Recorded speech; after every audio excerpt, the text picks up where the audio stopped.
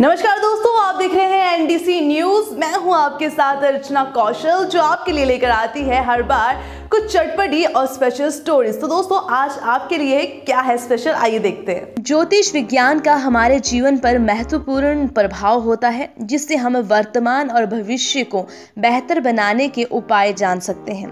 इस तरह हस्तरेखा ज्योतिष के ज्ञान से भी इंसान के बारे में बहुत कुछ जाना जा सकता है। कहा जाता है, हाथ में बनी लकीरों में इंसान की पूरी कुंडली छिपी होती है। हस्तरेखा ज्योतिष के अनुसार हाथ की रेखाओं से जाना जा सकता है कि इंसान आने वाली ज़िंदगी में किन किन तरह की परिस्थितियों का सामना कर सकेगा। हाथ की रेखाएँ ना सिर्फ़ ज़िंदगी से जुड़ी चीज़ों का रहस्य खोलती हैं, बल्कि इंसान के व्यक्तित्व के बारे में भी जानकारी देती हैं। हाथ की रेखाओं के अलावा साथ पर बने निशानों से भी इंसान के चरित्र और आदतों का पता लग जा लग जाता है। आज हम आपको हस्तरेखा ज्योतिष के अनुसार बता रहे हैं, यदि व्यक्ति के अंगूठे पर आधा चाँद बनता है तो इसका क्या अर्थ होता है? साथ ही इस विषय में महत्वपूर्ण जानकारी भी हम आपको देने वाले हैं।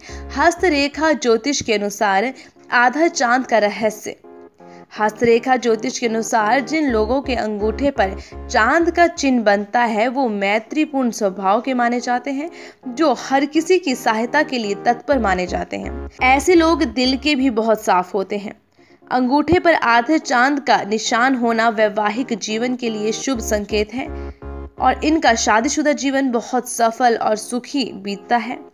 हस्तरेखा ज्योतिष के अनुसार ऐसे लोगों को जीवन साथी भी बहुत अच्छा मिलता है, जो हमेशा इनके कहे अनुसार चलता है। अंगूठे पर आधे चाँद का निशान धन संबंधी राज भी खोलता है, जिससे पता लगता है कि इन लोगों के जीवन में कभी धन संकट नहीं आता।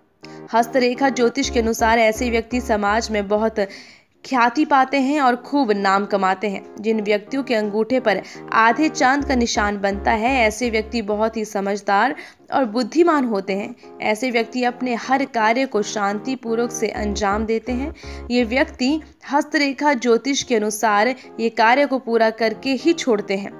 हस्तरेखा ज्योतिष के अनुसार अंगूठे पर आधे चाँद का निशान ये भी बताता है कि ऐसे लोग अपने परिवार, जन खासकर यानी कि माता पिता से बहुत प्रेम करते हैं और सबका आदर सम्मान करने में कोई कमी नहीं रखते। दोस्तों, अगर आपको हमारी स्टोरी पसंद आई तो हमारी स्टोरी को लाइक शेयर कमेंट करना ना भूलें और हमारे चैनल को करिए सब्सक्राइब